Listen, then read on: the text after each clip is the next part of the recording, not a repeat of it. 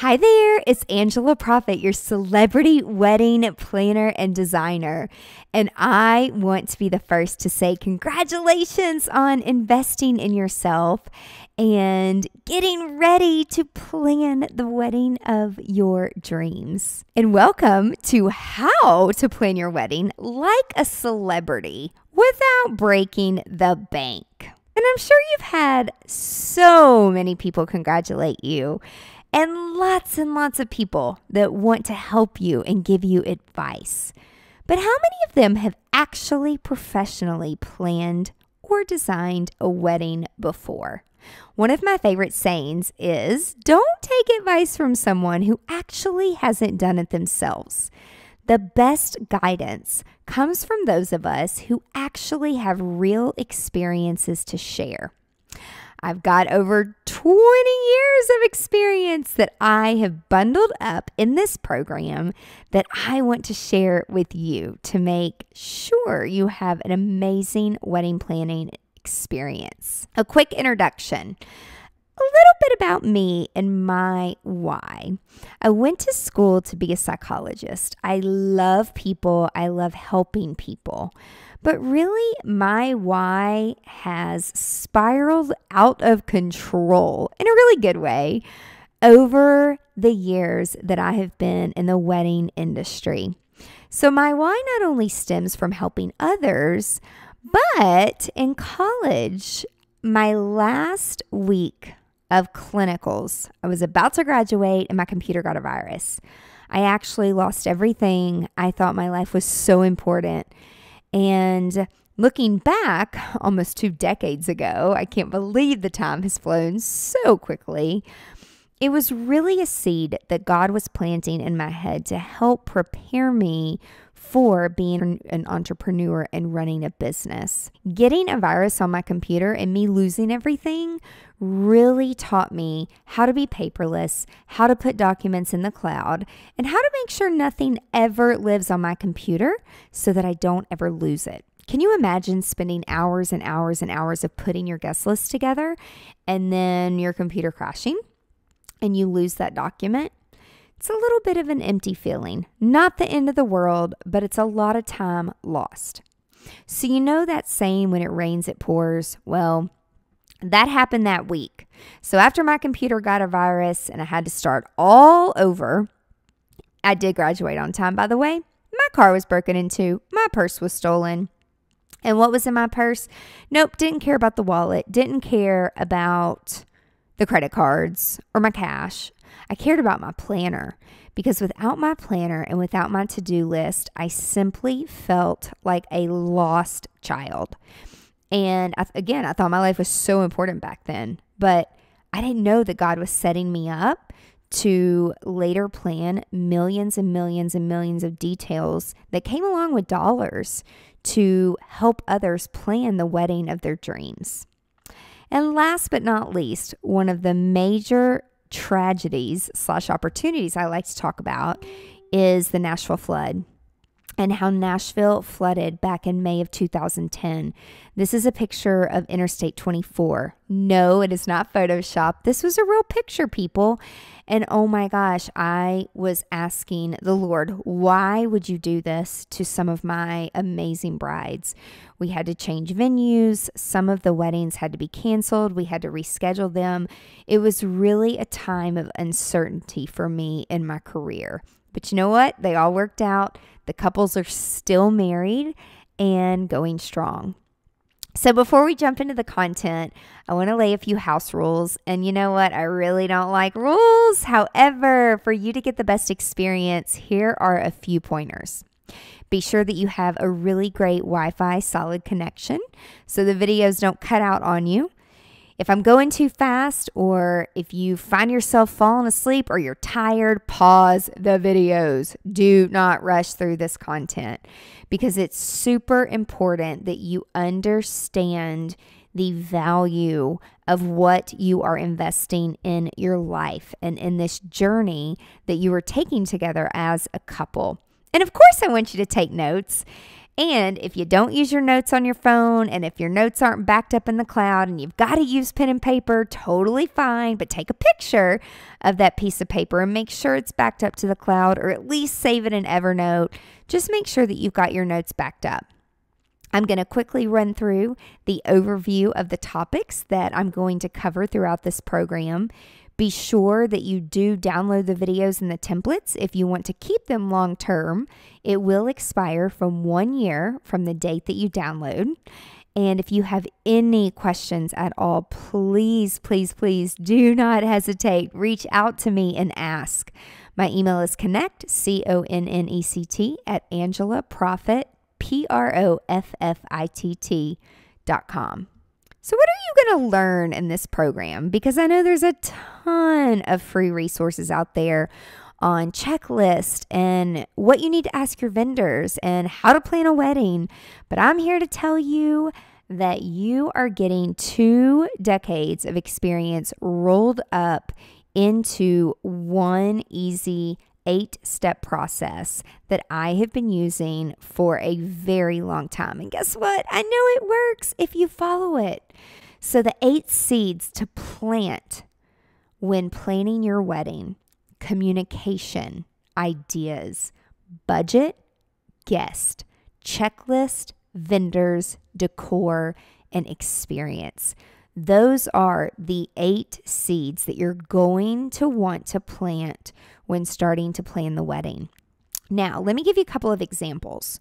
So, planting the seeds, here we go. On communication, we're going to talk about how to create an effective communication plan. So you'll know how to communicate and handle the different types of personalities with your family, your friends, and even your vendors. We're going to talk about a lot of different ideas, but mainly how to identify those ideas and what's a priority versus what's just nice to have. Okay, our favorite subject, budget. Let's think about budget as allocation and maximizing your budget. How are you going to maximize your budget? We're going to go through a ton of tips for you and things that it's just good to know. All right, it's all about the guest, right? It's it's mainly all about the couple and you and you're getting married and you're the center of attention but you're surrounded by people who love you and who want to support you in beginning your life together. So, how exactly are you going to exceed their expectations? Going back to great communication, we're going to dig a lot deeper into that. Now, we all need a good old checklist, right? For the planning process. But if you don't have 12 months, which most of those checklists out there, they give you 12 months. If you have more time or less time, don't flip out. We have planned some amazing weddings in actually less than a month. So, all of the tips in this program are going to help guide you no matter how far out or how close you are to planning your wedding. Choosing the right vendors, it's not all about the money, okay? So, we're going to talk about tips for that, also decor tips and tricks. There's some really cool things that you can do that give that wow factor that you may want. And then driving the overall experience. Again, you want to have a great planning experience. You want to have a great wedding planning process so that when it gets to the weekend of your wedding, everybody has a blast. Why should you listen to me? Well, I've published several books just to give you an idea for couples. I've published Gems Unveiled, which you should have received with this program. It talks all about communication, which I will be discussing the high level overview in our first module.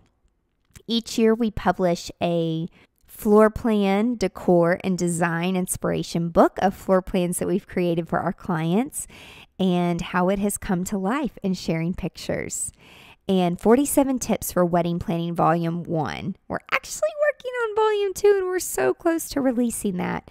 So there's a ton of resources out there online to help couples plan their wedding and have a wonderful experience. And come on, let's lower the stress. Who needs more stress in their life? We've been featured on several television shows and networks ABC Family, TLC, E Entertainment Television, CMT Country Music Television, WE TV, and a daytime talk show called Pickler and Ben, just to name a few. We've been featured in many, many, many magazines, such as Us Weekly, People Magazine, People Magazine, the Special Events Magazine, Success Magazine. And some of those magazines really highlighted some of the most amazing opportunities that we got to plan and design.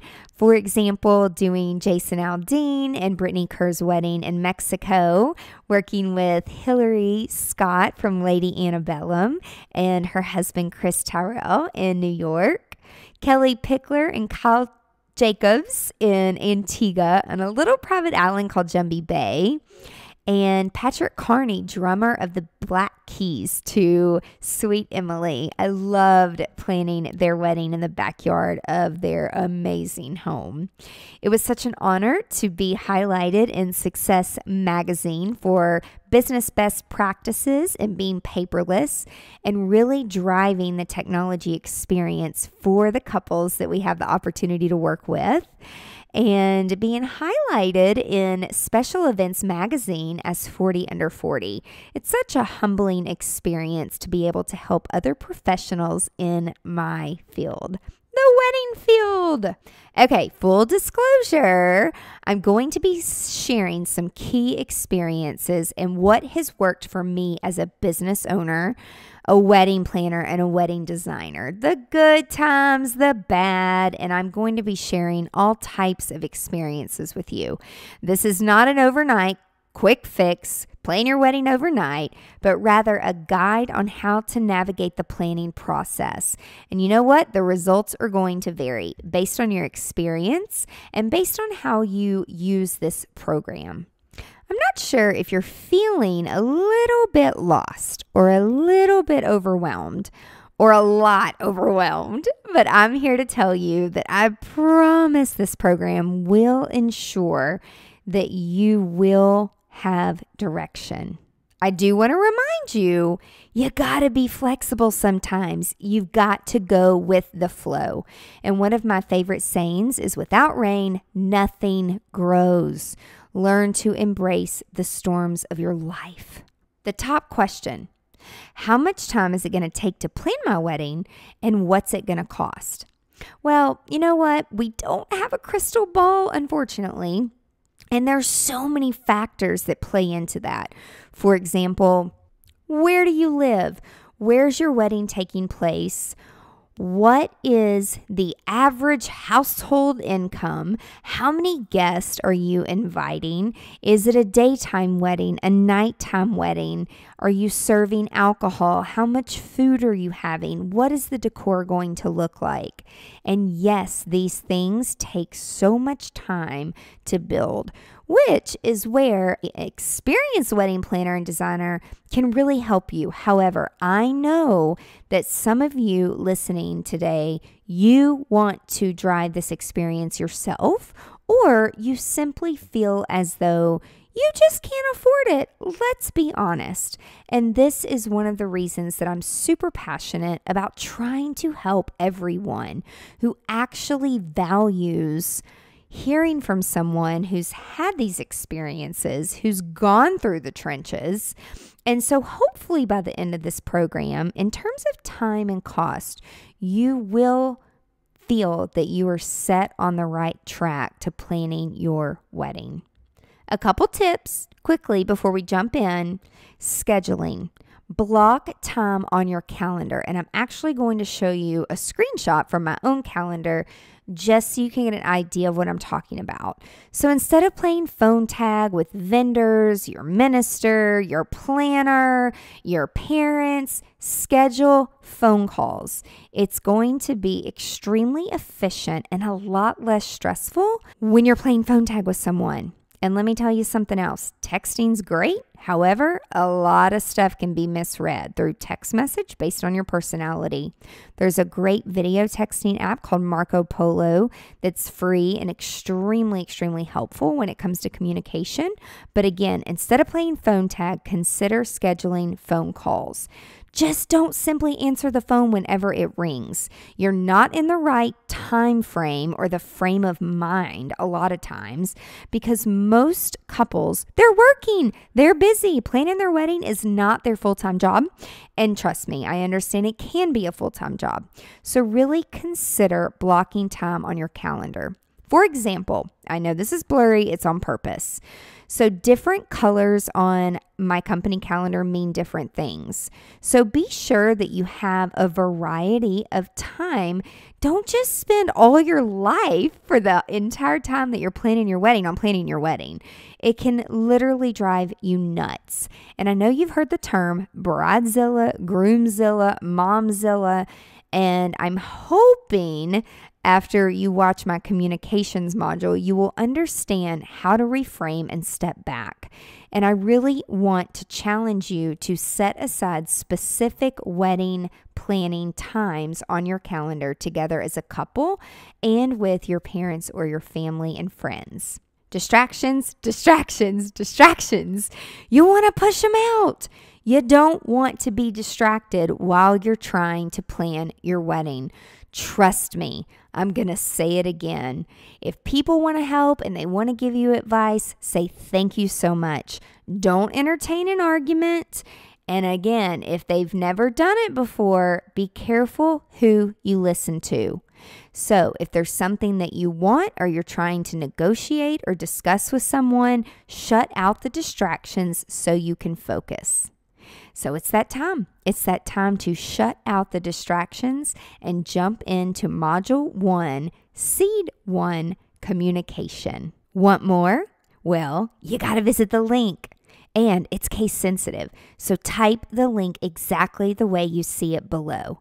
It's bit.ly slash capital DIY lowercase wedding planning. So bit.ly slash DIY wedding planning. And I'll see you on the other side. Have a great day.